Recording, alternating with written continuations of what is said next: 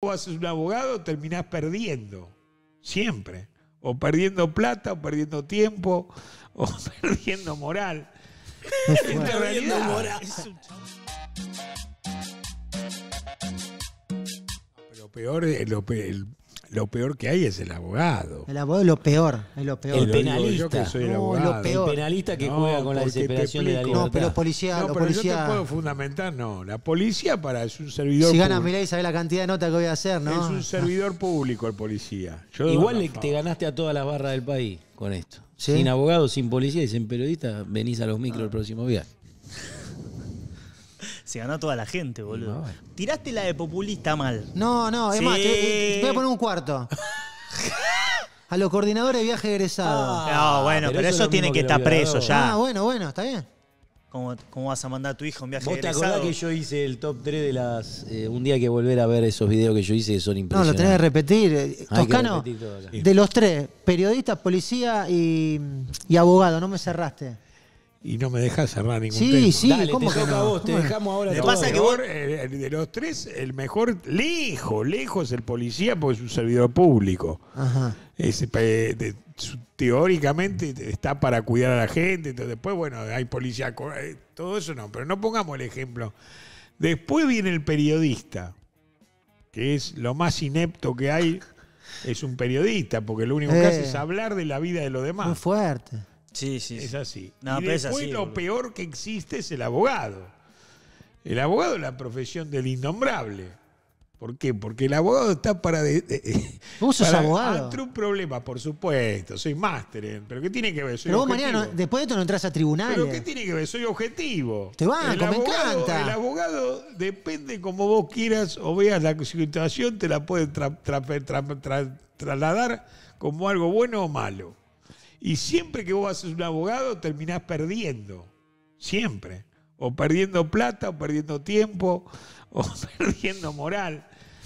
Realidad. Es un chabón perdiendo plata, perdiendo Claro. tiempo o perdiendo moral. Pero siempre. Es de yo quiero que esa. esa frase esté en todas las remeras que nos hagan a partir de ahora. Yo te doy un claro ejemplo. Lo está diciendo Marcelo. Toscano. un Te día puedo sin dar un bardo la ejemplo remera. extraordinario. No, no, no, qué ejemplo. moral. Quiero que repitas ejemplo esto Repetí la frase, la frase. Quiero que repitas esto. Vos vas a un abogado y Sí. terminás perdiendo plata, Tiempo tiempo. o moral.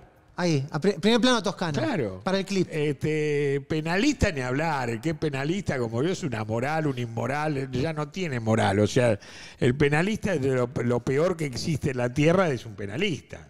Me incluyo yo que soy. No sos este, penalista. bueno, sí, sé mucho. No, pero no te tires abajo. de- Bueno, pero no me estoy tirando abajo. Te quiero decir que. Vos sos buen Eh, tipo, no sí, sos obvio que soy buen tipo, pero digo, yo puedo defenderte de una, una, cosa, una causa imposible a una. ¿Me explico? A eso voy. Sí. Pero voy a, a profundizar aún más. Eh, vos- ustedes sabían que en Estados Unidos eh, la profesión mejor paga en la revista es la de abogado. ¿Por qué es eso? Porque son los que más ganan plata en, en los países serios así, ¿no? Como este país que es, un- es una república bananera. Pero te voy a contar una No anécdota, eso, una anécdota que a la gente le va a gustar. Choca una, una persona, escucha, Coroniti, choca, ¿no? Entonces, eh, allá los choques se pagan, eh, cualquier raspón te lo pagan 10 mil dólares como mínimo. Lo que hemos hecho el curso para la revalida lo sabemos. Por Sí. eso lo que se, se espe- especializan en accidentes de tránsito, esto es muy interesante, son todos ricos los abogados. Sí, ya lo creo. Entonces chocan, escucha carroza, entonces va la persona al abogado y el abogado le dice, no, usted quédese tranquilo, deme el, un poder, escucha bien, un poder y yo le gestiono el cobro en la compañía de seguro. Va el abogado a la compañía de seguro, le dan 30 mil dólares. Vuelve, esto en realidad le da 3 mil dólares al que chocó. Se va contento y él se queda con 27 mil dólares. Es muy fuerte. Es muy fuerte, pero es lo que pasa. ¿Por qué? Porque la única forma de mediar y arreglar con la compañía de seguros es si vos sos lawyer, si sos abogado. Vos fijate el, el- el- El el curro. lugar social que ocupa un abogado allá. Yo tuve un amigo que no lo voy a nombrar, que no es santo de devoción de Coroniti, que se robó una campera en Macy's, que es un gran este, shopping de allá. Sí. Entonces, ¿qué pasa? Se robó un auto porque no hubo violencia. eh, se llevó una campera de más. Vamos a decir la cosa. Allá vas en Naca. Lo llevan a la seguridad. Bueno, déjame terminar. Sí, sí, sí. Lo llevan a la seguridad, lo meten preso. Lo meten preso. Entonces que me llama desde Pompano Beach. Y a cárcel me dice, estoy desesperado, me metieron preso, no hice nada. Le digo, algo hiciste porque si no, no te meten ¿Vos dónde preso". estaba? Yo estaba en la playa. Entonces voy a verlo a un gran amigo mío, un gran abogado. ¿Cuántos Por favor, amigos para- tenés, Toscano? No, la verdad. ¿Tiene más de 10 mil Al dólares? doctor Rodríguez. Tiene más de le 10 digo, dólares. Rodríguez, le digo, tengo un problema. No, tiene mucho más de. Y por eso es tu amigo. Eh, Sí. Le digo, doctor Rodríguez, tengo un problema. Tengo un amigo que está preso. Se mete en la computadora y me dice, sí, ya sé, está en tal lugar, en tal lugar, la fianza vale tanto, dame 10 mil dólares. Le digo, no tengo, le digo, yo no soy el. Bueno, dame el. re-". En ese momento yo andaba bien, cuando era jefe tuyo en Pufalarón, ¿no? Jefe mío. En ese momento andaba bien y yo tenía un Rolex que me había regalado. mío, ¿eh? Entonces me dice Rodríguez, lo cuento porque no es ilegal. Me dice, dame el, dame el, el- el reloj. El reloj vale 10 mil dólares. Sí. Le digo, pero Rodríguez, le digo, somos colegas, no me interesa, si no, no hago nada. Bueno, en conclusión le dejé el Rolex en, en garantía. Cuando me voy, me dice, ya está, quédese tranquilo, mañana sale. O sea, el sistema americano está todo preparado para que el abogado se quede con todo lo tuyo. Es extraordinario. Me encanta porque Tocano está ejemplificando y usa los paquetitos de Viagra co- como, como si fueran los soldaditos y te dice, este Y es un abogado. algo más. ¿Ustedes vieron el caso de Johnny Depp con la mujer? La mujer que Sí. que ganó Johnny Depp. Bueno, Johnny Depp. Ah, te para faltó no festejarlo a la directamente. abogada, que le cobró No, tres no, millones. No, se puso de novio con la, con la abogada. Sí. era- esto no lo digo yo, está en todos lados. Cuando le preguntaron a Johnny Depp, le dijo, como no tengo un sope, le digo, prefiero estar de novio antes que pagarle los honorarios. Quiero Ah. decir, acá está muy, este, ahora en serio, muy... eh, la, la profesión está muy, muy mal acá. Marce, tenés que decir. Emi me acompañó, Emi me acompañó Sí, a mí cuando yo estuve a punto de, de irme del país a hacer la profesión.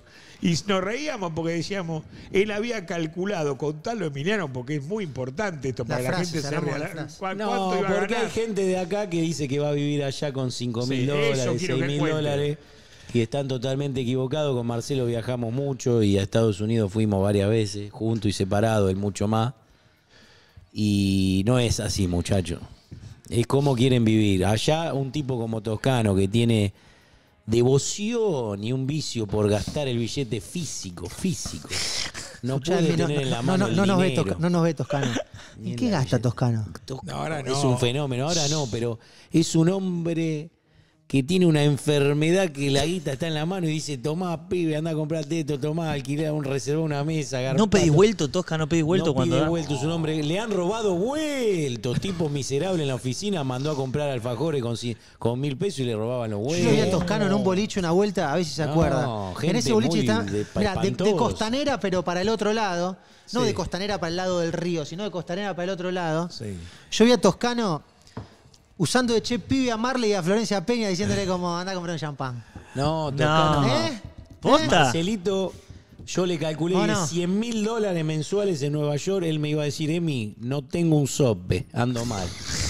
Y no es 100.000 una exageración, dólares. yo te explico. No, porque él hizo el cálculo, pero te puedo interrumpir. Él hizo el cálculo, tiene razón lo que dice, porque hizo un cálculo de la vivir, por ejemplo, comiendo con 10, 15 personas todos los días.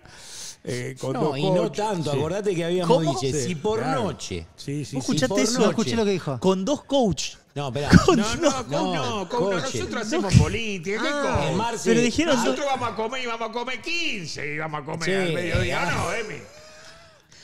Habíamos, el completamente no. acordado. Escuchá, habíamos calculado que por noche, si vos querés salir a Ay, tomar boludo. algo con Claro, 3, escuchá. 4, son mil dólares el Don Periñón. Entonces allá tenés 30 mil dólares de gasto fijo de Don Periñón. Sí. Y después tenés. No están bien, después tenés- boludo. Después No, él tenés- había co- pero después ojo, tenés ojo, en la se casa, generaba- la mansión. No, porque está te bien. a agarrar- Pero ¿Sabes? vos habías calculado que íbamos a generar plata también. Pero yo Lo te que dije que pasa- con 100 mil Claro. dólares andábamos nerviosos, infartados, 100.000 pe- pegándole a la gente. ¿Dónde era eso? En Nueva York con 100 mil dólares un tipo como Toscano, pero un tipo normal también, un tipo que no gaste tanto como él para vivir bien, viejo. Mirá que a vos te dan una casa de 3 millones de dólares ¿En extraordinaria. qué parte de Nueva York? Contame, En contame. King- ¿eh? No, habíamos hablado del Bronx. ¿Te acordás que nos gustó el Bronx? El Bronx Pero el extraordinario. Bronx extraordinario, pero ojo, el departamento costaba. Habíamos hecho todo el cálculo. Este, Vos tenés que pagar el auto, Sí. si tenés un Maserati, un Rolls Royce, lo que vos quieras, lo tenés que garpar por mes. No podés. Tenés que en garpar el, departamento. Y si no, no gana guita. Después tenés que morfar, viejo, hay que comer ahí, que- tenés que comer, viejo, la langosta. ¿Te acordás cuando fuimos a comer? Tosca, un día sin plata, un día sin tiempo y un día sin moral. Claro, ahí está. ¿O no? Había un gordo que es, por eso yo lo cuento porque es extraordinario. Un gordo, un abogado, el doctor Fortunato, ¿te? Con los roles de oro.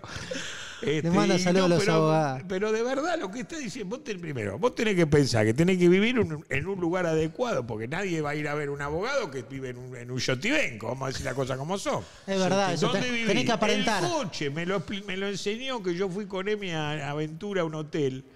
Un señor de color, voy a decirlo con respeto, que era abogado, tenía un por caimán nuevo. Extraordinario. Y Miami. me dijo, claro, y me dijo, dice, no, doctor, yo dice, yo tengo mi oficina acá, en Aventura, que vale fortuna. Sí. Tengo mi coche y tengo mi mansión en. Yo tengo que demostrar. En Harbor, Claro. en Harbor. A mis, ami- a mis amigos, a la gente de color que me contrata, porque allá viste que son. Yo le tengo que mostrar que soy exitoso, tiene razón. Entonces, Ah. cuando vos haces todo el esquema, no está tan equivocado, Emiliano. Es que si gasto. yo te voy a ver y vos no tenés un buen auto, no tenés una buena oficina, no tenés un buen celular, me voy. Escuchame, ¿cuántos Garcusi están en este país, en el microcentro, con role alquilado? ¿O tienen el role, tienen un auto Todos, bueno y boludo. comen arroz? No tienen un sope y andan haciendo negocio y garcando gente. igual acá me- Ojo, me escribe un otra amigo enseñanza toscano. de Coroniti. Sí, No puedo decirte el nombre, dale. pero dice que vos empeñaste un Rolex, un Sí. Rolex pero te quedan 15. No, lo, lo- me lamento que ese muchacho me aprecia mucho. Yo tenía una colección, pero perdí todo. Vos Sí. ya a tener 16 Rolex. Sí. ¿Cuánto vale un Rolex? Bueno, tenés el más barato, puede valer 5 mil. Sí. Y Dólares. tenés el presidente que puede valer 20 mil. Un día sin Rolex. Un día Eso sin es. roles. Nosotros no tenemos nada. Marce, ¿qué Hay que sí? traer cadena trucha, uno de acero ¿qué tres quirúrgico. tipos de personas? Nosotros habíamos. Volvamos a la habíamos- pregunta de Pablo. Sí, sí, dale, dale. Pero Emi, contemos porque la gente pide las Sí. anécdotas. No, pero la gente quiere todavía que vos le hables a la cámara y hagas Sí, el clip claro. para que después salga en todos los medios de comunicación vos hablando del tiempo, de la plata y de la moral, que me pareció una obra de arte Sí. brillante que describe.